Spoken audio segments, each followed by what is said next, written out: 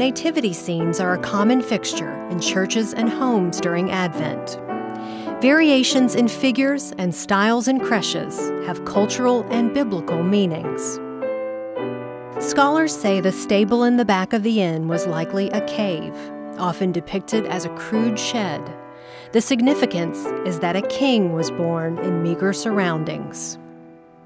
The Christ child's outstretched arms are an invitation to come to the Father through him. Animals are often seen hovering over baby Jesus as though to warm him with their breath. Creches from around the world often incorporate the animals native to a particular country. This scene from the Philippines includes pigs, a goat, and a carabao. Wise men, or magi, are often depicted as one young, one middle aged, and one elderly, relating to the three stages of life. At times, the Magi are seen as one Asian, one African, and one European, referring to the three known continents at the time.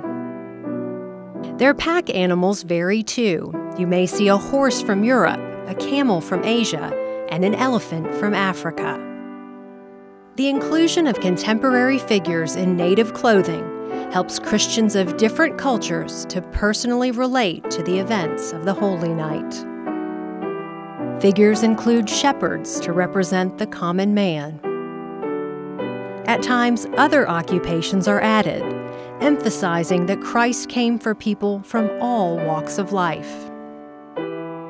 Take a closer look next time you see a nativity set and reflect on the many ways the greatest story ever told has been shared throughout history by Christians around the world.